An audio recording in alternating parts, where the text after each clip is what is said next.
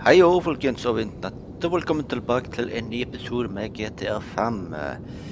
Forrige episode så var vi han eh, Trevor vi var nede på havn og gjorde sånn arbeid der. eh, til forberedelse til et ran av en båt, eller til noe som er på den båten.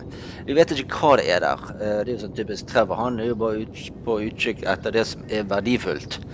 Men vi, for å kunne gjøre det, så trenger Michael å trene litt på flygingen sin, for han har jo ikke flydd så mye, så vi må gjøre forberedelser på det. Trene han opp i flygekurser. Eh, Ta og fly her. Okay, vi kan begynne sånn, bare, trenger ikke gjøre alt, så bare gjøre noen av det. Trening takeoff. Og få opp disse eh, jeg trenger bare å skippe der. Vi vet jo noe av det beste er at vi eh, kan skippe det iallfall. Uh, vi vet iallfall hvordan vi skal gjøre til å begynne med. her.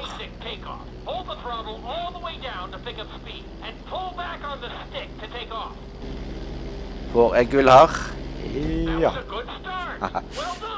Første er oftest det alltid med folk. Det er selvfølgelig enklest. Men selvfølgelig blir det mer avansert. Uh, training takeoff. Gå til runaway landing. OK, nå skal vi lande. OK.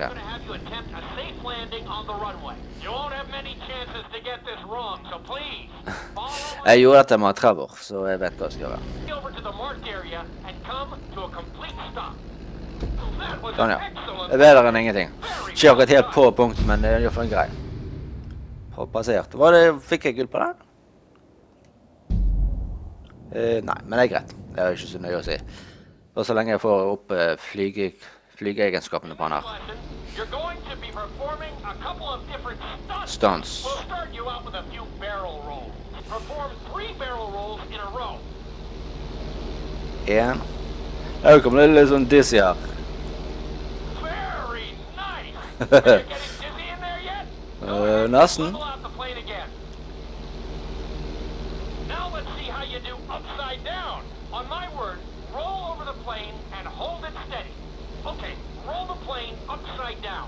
Kan jo fly vi opp ned her nå. For several seconds.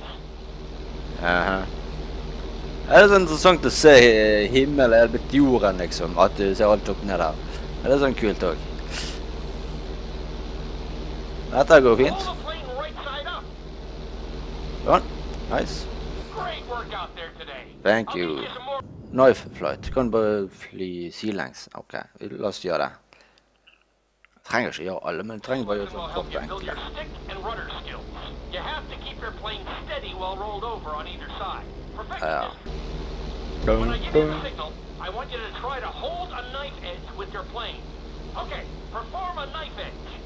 Perfect. Now hold that position. Don't forget to use your rudders to maintain altitude.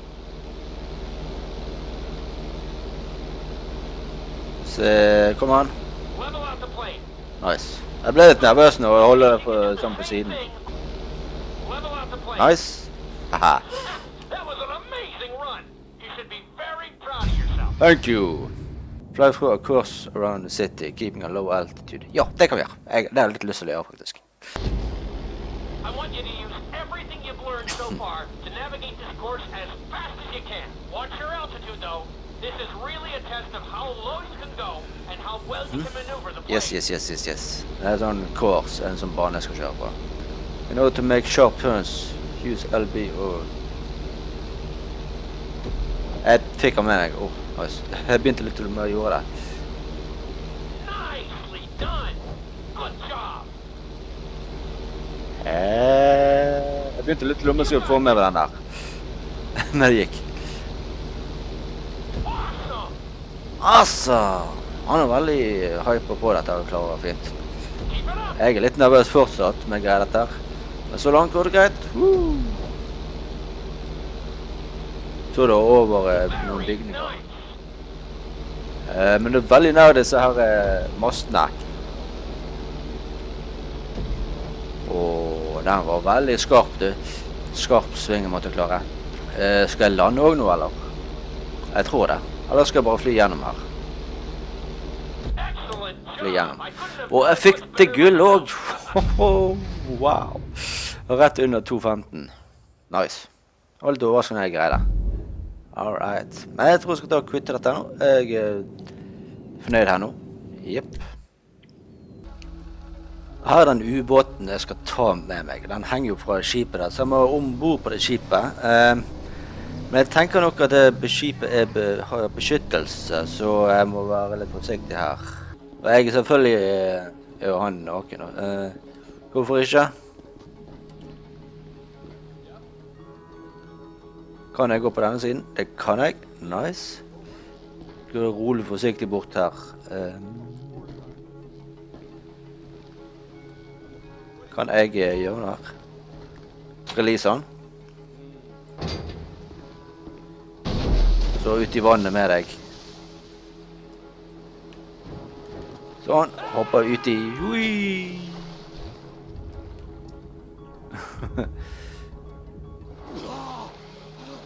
Sånn.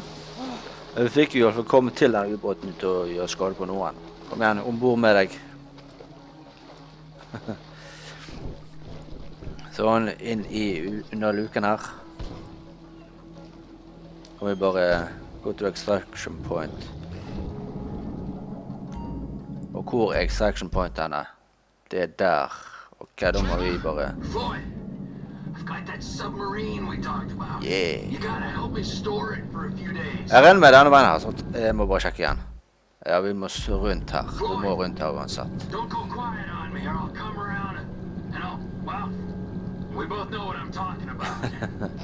Yep. Okay, um, all right. The, the bring it around to Pier 400 at the Western Docks. on my way. Floyd, you there? Uh, yes, sir. I'm on the crane. The surface, and I'll bring you shoreside. All right. Nice. Jeg skal bare gå på den gule ringen først, før jeg går opp. Eller OK. Trenger ikke jeg å bry meg om å gå opp.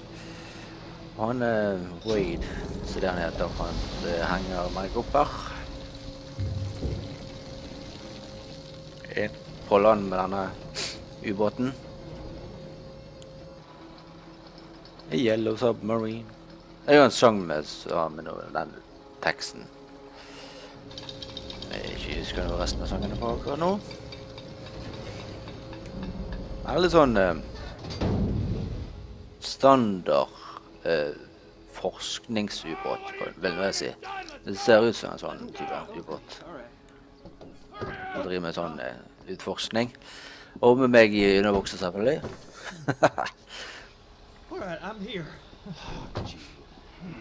Ok, hvor skal vi kjøre? Ok. Det var bare å kjøre oss dit. Så igjen her. Det er litt sånn rot med det i stad, men nå, nå går det fint. Nå går det fint. Sånn. Out of the truck og eh, gå til neste ting. Um, Alt i orden?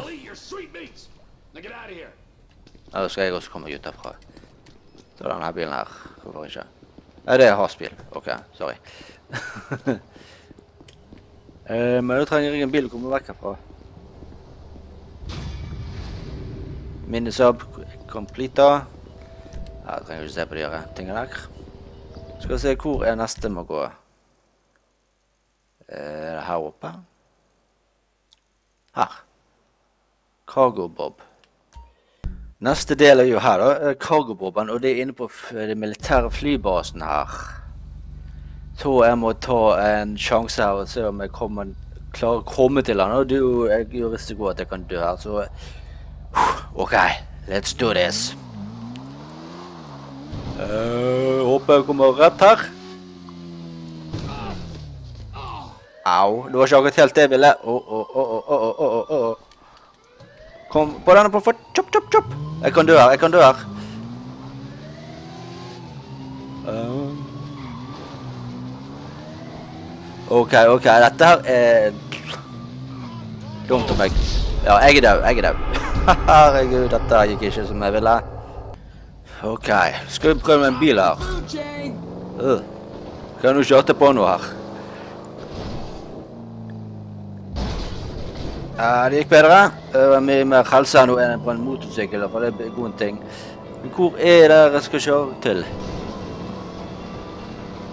Jeg regner med den blå tingen nå, altså.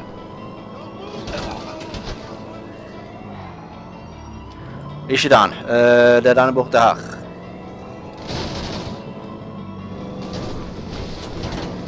Ah, jeg er nesten død her. Ut. Um.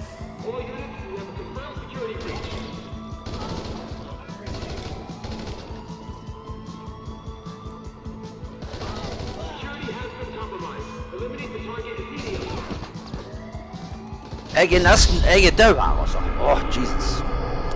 Jeg prøver på nytt her. Skal jeg bare prøve å kjøre inn? La oss prøve på det. Jeg tror ikke jeg har gjort det før.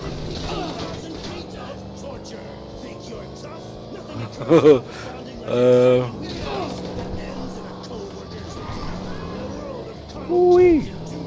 Vanligvis kommer ikke uh, uh, Iallfall en litt annen måte. Jeg er så vant til å ta det hoppet.